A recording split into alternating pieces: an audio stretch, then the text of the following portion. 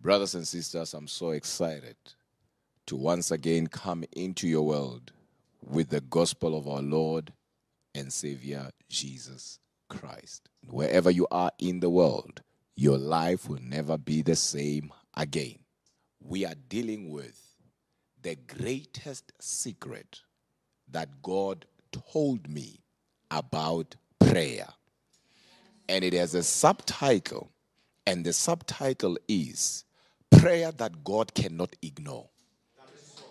Meaning, if you are here today, heaven shall answer you. If you are not looking for answers, then you are not in the right platform. But if you are somebody who is saying, Apostle, I've been looking for answers, today is your day. Because what I'm about to talk to you about is a secret that the devil does not want you to know. And once you get hold of this secret, you are going to cause problems in the kingdom of darkness. Amen. You are going to be a troublemaker because whatever will proceed from your mouth, heaven shall see to it that it comes to pass. Have you ever read and the Bible said a statement like, None of Samuel's words fell down to the ground? Why none of Samuel's words never fell to the ground? It means Samuel knew something. And I'm here today to tell you there is a secret to your prayer. Mark chapter 11, and we read verses 24. Therefore I say unto you, what things soever ye desire, when ye pray, believe that ye receive them, and ye shall have them. And ye shall have them. Believe it or not, the secret is in there. And once I unlock it by the power of the Holy Spirit, your life shall never be the same again. Notice, if you may, that Jesus Himself here is the one that is speaking. And He is saying what He's saying after He had cursed a fig tree. We all know that Jesus cursed a fig tree.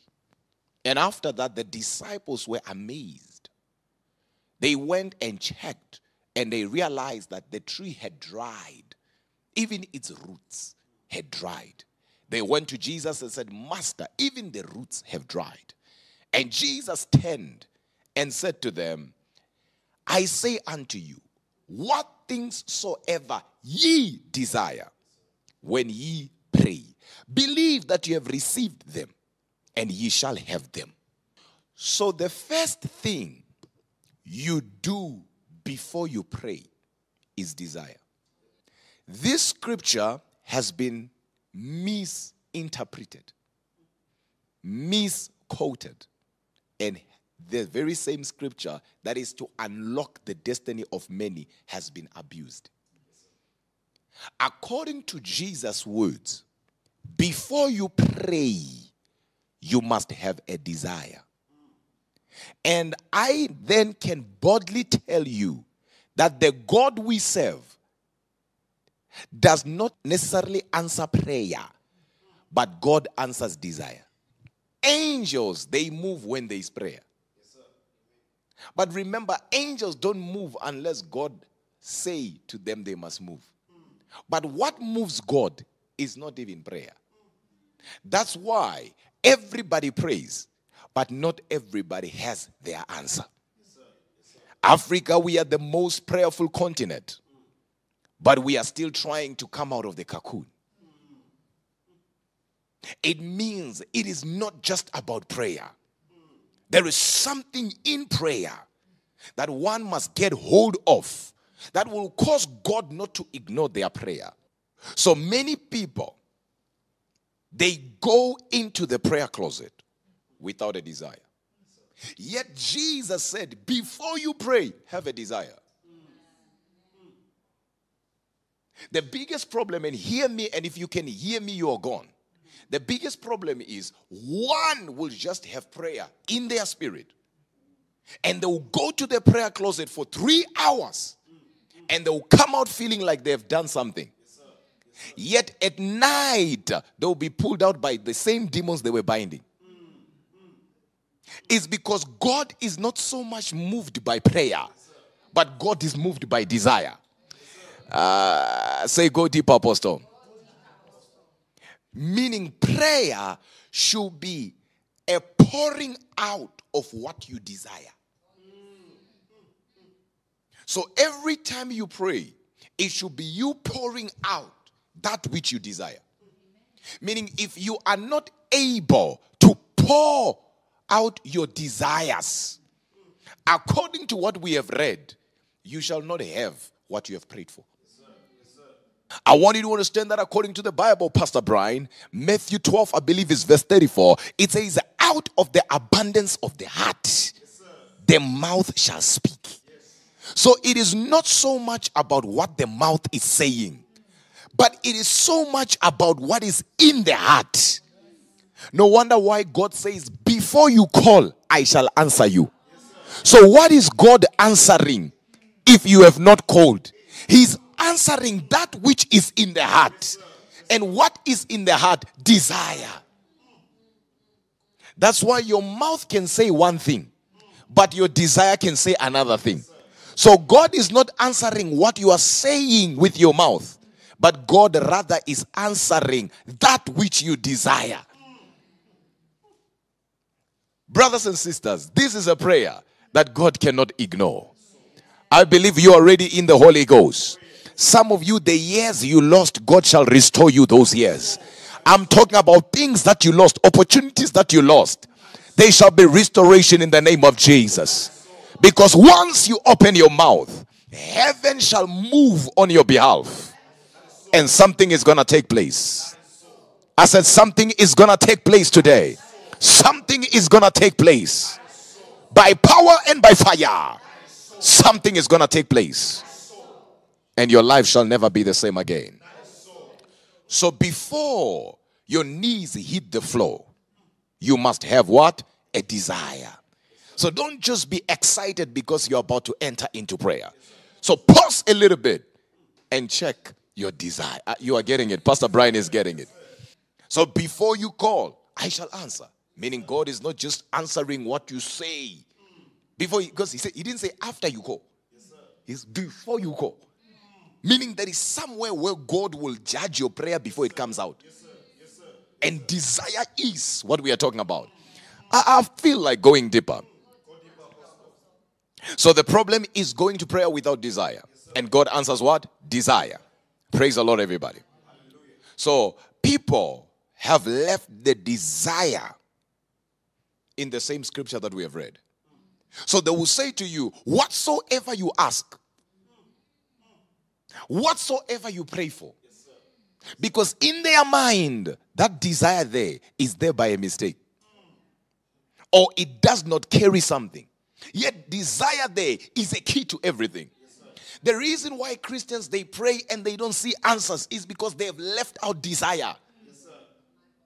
When Hannah prayed, God did not answer her needs, God answered her desire. It was God answering Hannah's desire. Hannah's prayer was not out of jealousy, it was out of desire. And whenever God sees a desire, God acts.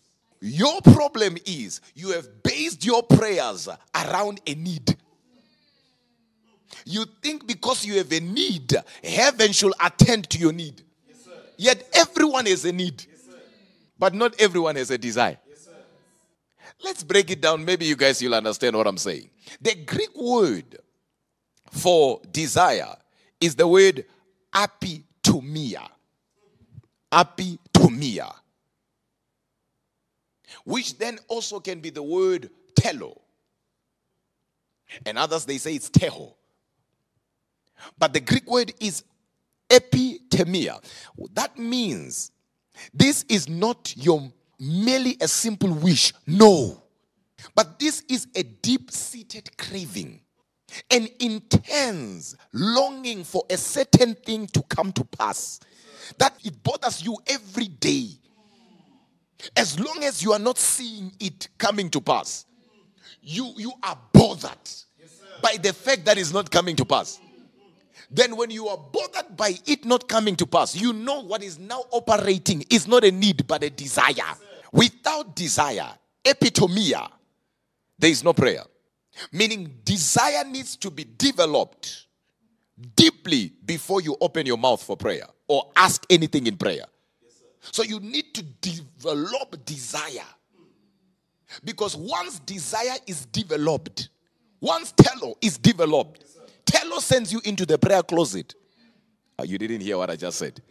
you won't have to force yourself to pray. Once the telo is ignited, you find yourself praying. That's why the Bible says, and Hannah, year after year, regardless of what Penina was doing to her, she went to the house of God and she continued to pray. I mean, if you study, you realize that Hannah was barren for about 28 years. 28 years, brothers and sisters, is a long time. But the Bible says, year after year, she went to the house of God. What kept Hannah going to Shiloh? Yet she was not seeing answers. Desire, brothers and sisters. Because when you have desire, you can't help but pray. When you have a need, you pray two times. If it does not happen, you will change it. So, desire will accompany prayer. But when prayer gets into the throne room of God, God will not look for prayer, will look for desire. Desire will accompany prayer. But when prayer gets to the throne room, God does not look for prayer. He asks prayer, Where is your desire? Yes, sir. Yes, sir. Yes, sir. And if prayer has no desire, God will say, Go collect desire. Because I answer desire. This is the greatest secret God told me about prayer. Prayer is a follower of desire, not desire being a follower of prayer. So you don't pray and desire, you desire and you pray. Once your desire is crippled, your prayer is crippled, and you are going to get a crippled answer. So, brothers and sisters, work on your epitomia, work on your desire, develop desire. Don't pray for the house first, desire it, then pray for it. How do you work on your desire when it comes to such, to such things? You visit houses, you do some house viewing. And while you are viewing, you are working on your desire. Aya. Aya. You know what Jeremiah said? He said, It's like fire shutting on my bones. And I cannot contain it. Meaning the word of God, right, had developed a desire to be spoken out by this gentleman. That the moment he refused, the word of God fought inside him. And he had no choice but to release it. so it had a desire to be spoken. I don't know if you are getting what I'm saying. So he himself, who was refusing to release it, could not stand the desire that the word had in him. So when you begin to view houses, Kalina Mahande, when you begin to view properties, you begin to view uh, cars, whatever that is, you begin to view places, institutions, you begin to develop a desire. I remember when I when I bought my first car years ago. That was a long time. My first car, by the way, was a Mercedes Benz. Years ago. That's been a, that's a long time. It's been a long, long, long time. And believe it or not, my last born does not even know that car. My second born, he he was there. No, no, no. He actually found it there, but he doesn't really remember it. Are we together? Watch this now. What happened was, I had no money in my bank account. And when I say I had no money, I think I had like 7,000 or something. That's the money I had. I was broke. Like Moses when he broke the Ten Commandments. But I had a desire. I did not look at my bank account. Because God does not look at your bank account, God looks at your desire. I went to, uh, I remember I told my younger brother here, he will testify. He was there. One time he was cooking himself, he was cooking. Then I went to the kitchen and I said to him, I want to buy a car. One thing about him, he always believed whatever I say. Right? So he was like, wow, what kind of a car? And I said to him, there is this Hyundai of this other guy. He, he remembers. That Hyundai, because that guy, desire, somebody say desire. desire. We were coming back from Limpopo. And as we were driving, he allowed me to drive that car. Are we together? So the, the gear control was so soft that I felt like, Evan, this car ah, is a car. So while I was in that car driving it, when I'm moving the, the gear controller there, guess what? Desire is developed. When he was cooking, we are home now. All of a sudden, I want to buy a car. I don't have the money, but I have the desire. You're not hearing what I'm saying. But the desire did not just come out of nowhere. I had to be in a certain environment. I had to feel how it feels like to walk around a mansion. You are not hearing what I'm saying. Then I said to him, I want to buy this car. Then we went. We started now viewing. I was with him. We were together like this. When we were viewing, we found that car. It was expensive. And when we found it, I got inside. Then I said to him, I'm coming back. We left. But as we were going home, we are passing by another place where they sell cars. And I looked, and there they were selling Ferraris and all these cars. As I looked, I saw a Mercedes Benz. It was as if the car was talking to me. It was as if the car was saying, Come to me, Apostle. Come pick me. I've been here for so long. I remember I said to him, Look at this car. I held my head, the rim. I remember it was an aluminium rim. The rim was speaking in tongues. We went in. Me being me, I said, Give me the keys. The gentleman gave me the keys. I went inside the car. When I said the smell of the car ministered to me, it was as if the car was now telling me, I want to go home with you. The smell of the car. The moment I entered, I looked at him. I said, I'm buying this car. Yes, sir. Yes, sir. He said, I remember, I said, Do you he said to me, Do you know what car is this? I said, I know. He said, This is Mac Mac. That's what he said to me, meaning this is a Mercedes Benz. He was like, This is Mac Mac. I said, I'm buying Mac Mac. He said, Are you sure? I said, I'm buying Mac Mac. He shook his head like this. And they gave me keys. I started it when it was there. Ah, yeah. When the car went on, I went out, I came in, I said, I began to bubble up in tongues. But remember, what caused me to bubble up was desire. I did not bubble up when I was outside by looking at it. Ah.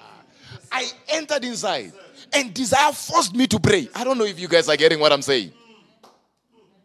I had desired that other one, but when we went to check it, I didn't pray. We just went to check it. But when I was in this one now, desire forced me to pray. They said documents. We gave them my documents. They did their thing. They said, unfortunately, say you don't qualify. He said, Do you have other supporting documents? I said to him, No. But the Holy Spirit said, Yes, you do. I said, I have documents that prove that every month I pay a certain amount of money to a certain account.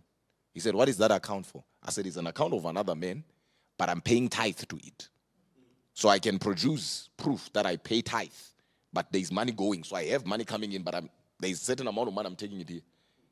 He didn't understand it. He didn't understand what I was talking about. He just said, Bring those documents. I went, we printed, we came. He said, I don't think this will help us, but let's put them. He began to motivate and all of that. They came back, declined. We went home. First thing in the morning, we went back. I said, Try these documents again. They tried them. They said, Sir, you don't qualify. Unless you bring other documents, we want to help you. I was outside standing like this, looking at that car. Desire. Around five, they were closing. We left. In the morning, the following day, I was there. This is not a story. This is not a myth. My younger brother was there. I stood outside. Now they were no longer entertaining me, those brothers. When they see me like this, they just see me outside, they just focus on their job. At five, they closed. We went home. The following day, I was there again. I started praying. Then the fifth day, I had 7,000 in my account. This is a true story. Yes, the fifth day, the man of God that I was with that time, he was building a church. He called me, and I was part of the people that were giving towards that project. He called me that they are roofing, but there are certain things that are missing, right? And in his calling, he was not calling me for money. No, the devil is a liar. He was calling me for prayer, right? And he was telling me that they need to be done before the rainy season, roofing. When he called me and he told me that, I sat down. Before I prayed, I said, wait a minute. I have money here and it can't meet my need. Let it become my seed. Then I took that last money. He shook his head. He said, Now, what about the deposit? Because those guys, they said I must take out at least 60,000 deposit. And I had 7,000. And that money became my seed. I sent it to him. The man of God could not believe it. It was a lot at that time. he called me. He said, Did you just send money? I said, Yes, I sent money. He started praying for me. 15 minutes after that, a man of God from Pretoria called me. And he's called me, he says to me, Give me your account. His first deposit was 30,000 rands into my account out of nowhere. Then when he when it entered, I was shocked. It was a lot of money. I was like, wow. And as I was calling him, I said to him, Thank you so much. Thank you so much. He said, No, don't thank me. I'm sowing into your life for prophetic grace. And this man, I was looking up to him. That's what he said. Then, when we're there now, I was talking to these guys. Guys, I have 30,000. They said, Ah, my friend, just try to get to 50. And I'm thinking, Where can I get 50 now so that we can try this thing? He then says to me, He's sending another money in the next uh, two hours. Then, whilst I was waiting about five minutes, money entered. It was another 30,000. Now I had 60,000. I said to the guys, put now, I have the deposit, put it there. They put it like this. It came, said declined. They closed. We went home. We went Saturday morning. We were there. They said, now take it to at least 120. Let's see what will happen. Brothers and sisters, you have never heard me talk about any of my testimonies, but here I'm showing you the power of desire. And I'm not talking about my life now, I'm talking about my life there. If you cannot see what I'm talking about in me, it will be difficult for you to follow it. and I'm talking about there. And I'm saying this with all humility. So that those who have this thing in their mind that people are just being braggadocious when they testify. So you understand it's not me. But this is long time, not now. If I was braggadocious, you will know he's being braggadocious. Now, watch this. Saturday, we went there. It didn't work. Monday morning, Uncle Peter, we were there. And I was standing like this. Then the boss came in, found, said, Hey, this guy, I saw him last week, Tuesday. He's here. Can we help this guy? They said, ah, Nothing is happening. He said, Let me call another lead. He called, said, Okay, can you try to speak to these people? One, two, three, four, five. While I was there, he says, Okay, how much deposit do you have? I said, 60. This is a true story. This is a true story. He went, spoke to this other lady. She works in that company. Then he was like, My friend, 45,000 deposit will work. I said, Eh? I looked at him. I said, Eh? Then he said, he said, approved. I thought he was joking. He says to me, Now you need insurance for you to take out the car. And it was those days that you can't take out a car when those days entered without an insurance, those early days. I said, What do I do? He said, Don't worry, there's a company I know, they'll call you now. I gave them your number. Brothers and sisters, when I left, I was with my younger brother. We left on a Benz. we left on a Benz.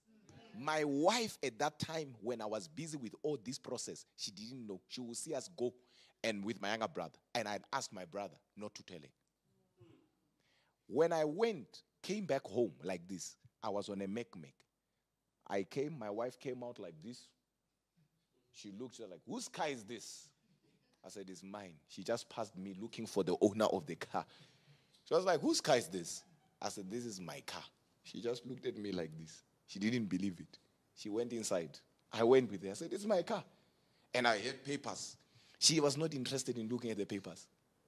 The next thing, She saw me post on Facebook that God is good. She said, Are you serious? This, this is the car. She said, Is this our car? I said, This is our car. you are joking. I'm telling you now, desire. Look at me. If I did not have a desire, one day like this, I would have given up. My my third house, right, that I bought years ago, right? Third house. I was told I will never afford it by an agent. The agent told me I'll never afford it. Two years later, I came and I bought that house. Two years later, because the time I went there, they looked at me, looked at my things, and said, ah, This one is too expensive for you. Desire. And that was years ago, before even my uh, second born was born. Glory be to God. Say with me, desire. desire. So, how do you develop desire? You develop desire by going into places. Ah, yeah. Ah, yeah. You know what God said to Abraham? As far as your eyes will see. Meaning, as long as you are blind, I'm limited. But the, the moment you see, I, the Lord, will do. You see, I will do the rest. Because once you see, there is desire. That's why Jesus said, You heard that if you sleep with a woman who's not your wife, you have committed adultery. But I say unto you, if you look at a woman lustfully, meaning with a desire, you have already committed a sin. Look how powerful desire is. So heaven responds to a desire. Say, Lord, work on my desire. So you see that sometimes you can be praying and praying and nothing is happening, not because God does not want to do anything. It's because you have been a Christian for 20 years, for 15 years without a desire. You think just by praying things will happen. Say desire. desire. Develop your desires, brothers and sisters. Hallelujah. Develop your desire to a level where prayer begins to pour out out of you. Hallelujah. Jesus was telling the disciples, For me to kill this tree, I had a desire. That's why he was saying, Whatsoever ye desire. Yet he was talking about a tree. Meaning, for me to cast this tree, it did not just happen. I had a desire to do it. Hallelujah. What is prayer? I've taught a lot about prayer. But in this case, in this message, write this down. Prayer, please write it down and never forget it. Prayer is the oral expression of desire. So if somebody is going to ask you, what is prayer? The oral expression of desire. Yes, Hallelujah. The blind will come to Jesus and Jesus will ask them, What do you want me to do for you? A seemingly pointless question. Because I mean, I mean, I mean, the person is blind. Jesus can see the person is blind. But Jesus will ask them, What do you want me to do for you? Are we together? It was necessary for them to express that which they desire. Because God does not answer because you have a need. Say, I'm blind, He knows I'm blind. No! What do you want? What do you desire? Because heaven moves when there is a desire. How do you really work on your desire as a child of God? Because so far I've told you what you can do on the outside. But you, as a believer, because your desire cannot be based on material things or things that are perishable. But as a child of God, how do you develop and how do you work on your desire? By getting into the word. When you know that he became poor so that you can become rich. Yeah. You then know that I am not sinning by desiring to be. Oh, Lord. I am not sinning by desiring to be in good health. Hallelujah. Because by his stripes we were healed. Say glory, somebody. So when you get into the word, Kalia, your desire changes. You will know things that belongs to you. Glory be to God. Think about this because I don't have time. Think about this this way. If I was to snatch your wallet from you, you will come after me. You will fight with everything that is in you, regardless of the stature. And the reason why you are fighting is because you know it belongs to you. Hence, you are what? You are fighting. Glory be to God. So when you get into the word, you will know that certain things belong to you. Hence, you will fight when the enemy shows you another thing. You will say, But that's not what the word says about me. This is not in the will of God concerning my life. This is not what God said about me. This belongs to me here. I'm not an intruder here. I'm not somebody uh, uh, jumping fence and coming in here as a thief. No. Hallelujah. You have a lamp on your body. Desire to see healing taking place. Glory be to God. You are sick. No. What is your desire? What is your desire? Glory be to God. Develop your epithemia, brothers and sisters. Develop desire.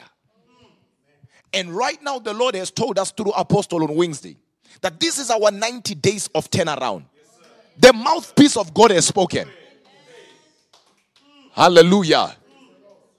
And now you need to desire to see turnaround. Turn around in every area of your life. Listen to me, brothers and sisters. Your manager, your boss, right, can decide what your income is, right? Like in terms of your salary.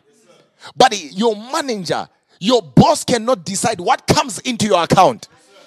Cannot dis, not cannot decide who blesses you and who favors you. Heaven is responsible for that. So never limit God. Uh, never limit God. He said, even in the desert, water shall come out. I will make a way where there is no way. Brothers and sisters, this is the gospel according to Apostle Miz Mzwakhe Tancredi. That the God we serve is not dead but alive.